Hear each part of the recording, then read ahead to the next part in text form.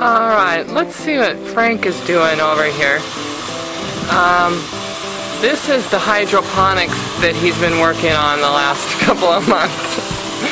and um, it's just um, trial and error right now because there's a lot of little different things that need to be done with the growing of the vegetables and everything like that. Um, last week the pump went out and, and the stuff was drying out so we had to put it in the garden bed.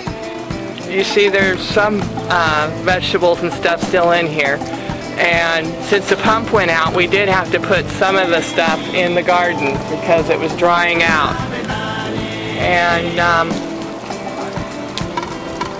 there is some basil in here and some tomatoes. I can see some tomatoes and basil and green beans. And there's some peppers. There's some peppers right there.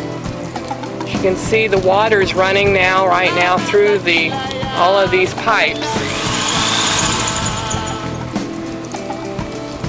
I think Frank thinks there's going to be a big tomato going to grow there pretty soon.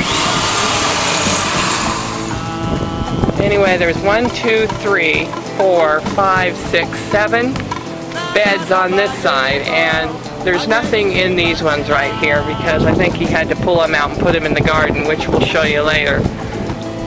And um, over here, I'll have to go this way. I'm gonna have to go this way like this. Hi. It's a work in progress. Is this your wood pile? Hey, don't show people my work pile. wood pile. Okay, oh look at this. Over here is where the fish are. There's fish in there. You probably can't see them. and they are in there. And that is how the fruits and vegetables get their nourishment is from the fish poo-poo. That's a big tomato plant in there. And under here is the pump. That's the pump. That's what it looks like. Pumps the water through into the aquaponics deal to make the water come in. Here's some more vegetables. Looks like some greens are coming up. Okay. Alrighty then. What happened now? Well, the big pump went out uh, prematurely, and uh, so I replaced it and, with a different pump, and this new pump won't pump both sides. So I had to shut this one down and put the plants in these pots down here. Oh, I see. Doing real good. So what's happening is that um, learning how to have backups for when things fail. And so that's good that it's happening quick in the beginning so that I can design the system to have the right kind of backups so that if anything fails it won't be uh, fatal to the whole system. Okay, well, it looks like you have a, that pepper plants. Yeah. Okay, then. Well, signing off. Thank you, Frank. You're welcome. Bye. Okay, so this is the uh, progress of the aquaponic. Uh, we started in March.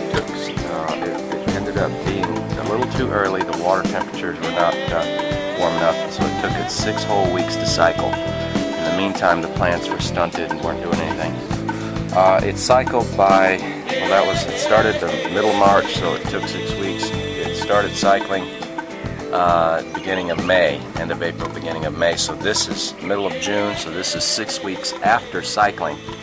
As you can see, the tomato plants have shot up pretty good. There's tomatoes all over the place coming out. Um, you can see the pepper plants have peppers on them. Those are jalapenos. Again, here's more peppers. Here, jalapenos coming all over the place. More tomatoes. Here's some ripe tomatoes. Middle of June, early tomatoes. These were all put in here recently, so this is a totally separate uh, tank. This, this side's connected. So there's some seeds, some beans I put in here. I found out the trick to getting these, like those uh, cantaloupe seeds, was to uh, put them slightly below the rocks so the sun was is not just beating on them all day. And it, they seem to do better as you can see these are sprouting here. Here and you saw the cantaloupes are doing a little better. Now I put some cucumbers in here but I don't see anything. They might take just a couple extra days. I don't see anything come up. Can you see them?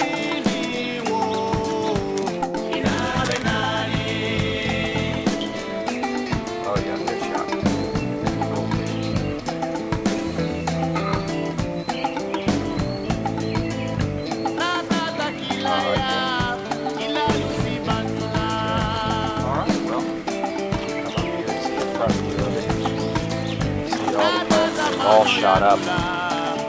Uh, I do add this, I have to add this diatom, diatomaceous earth. It's got a bunch of minerals in it. It helps the plants not yellow out. Uh, as a bonus, the ants don't like it. plants start yellowing out, I, I, go ahead and put some, some of this diatom in there. I noticed these basils were, were starting to yellow out. They were nice and green. Now a lot of these basils are still green. You see that's really quite green there. These here start yellowing a bit, so I ahead Now there's some kind of a bug issue here. This is new.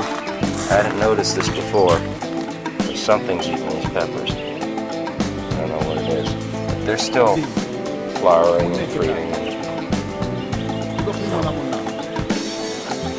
All right, well, you can get a nice shot from here. And uh, I tell you, when this thing wasn't cycling, you were just pulling your hair out, you know, because you wanted to get stuff to grow for the spring garden. Now that it's finally gone through it, and you can see has grown up. It's, it's comforting to know that it works. first, first time aquaponic, you know.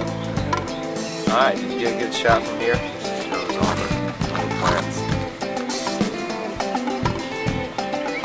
Alright. Hopefully within six weeks this side will be all grown up like that.